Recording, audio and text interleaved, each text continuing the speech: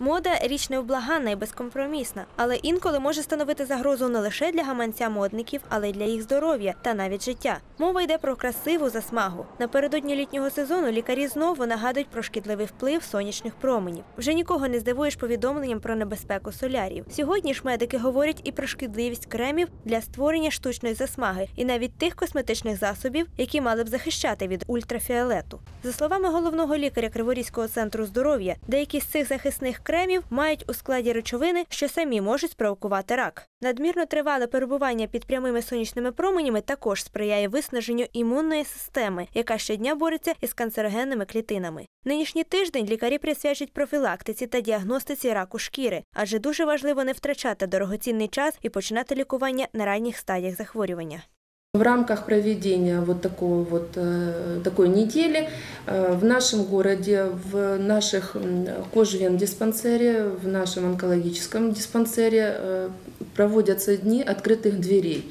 Все желающие э, обследоваться на какие-то вот э, что-то непонятное с кожей, если у человека происходит, возникают вопросы э, с 8 до 12 и в кожевен диспансер и в онкодиспансер могут обратиться в течение этой недели для того, чтобы люди получили квалифицированную консультацию и знали, что делать, как делать, и не занимались, самое главное, самолечением. Уже доказано, что чем больше э, ультрафиолетовых солнечных ожогов человек имеет, да, тем вероятность появления рака кожи у него выше. На глаз диагноз не ставится. Для установки диагноза существуют э, международные стандарты. Да, это как минимум цитологический и гистологический метод исследования.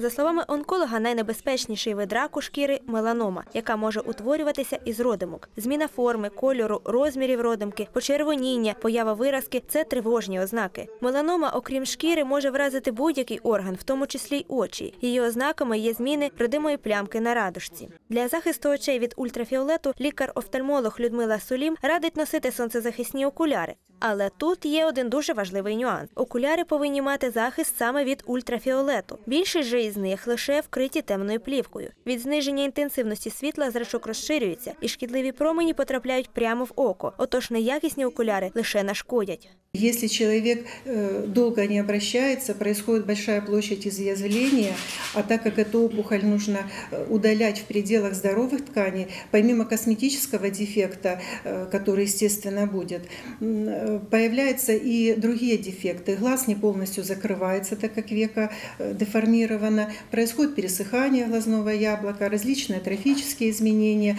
и ну, болезни уже самого глаза. Обязательно это избавиться от э, э, привычек, в частности э, курения.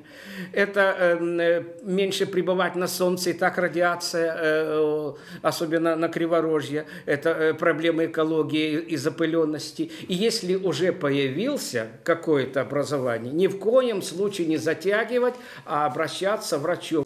Щороку близько півтисячі криворіжців із проблемами на шкірі звертаються до онкологів. Але, попри невтішну статистику, яка з року в рік зростає, медики наголошують, близько 90% випадків можна повністю вилікувати на ранніх стадіях захворювання.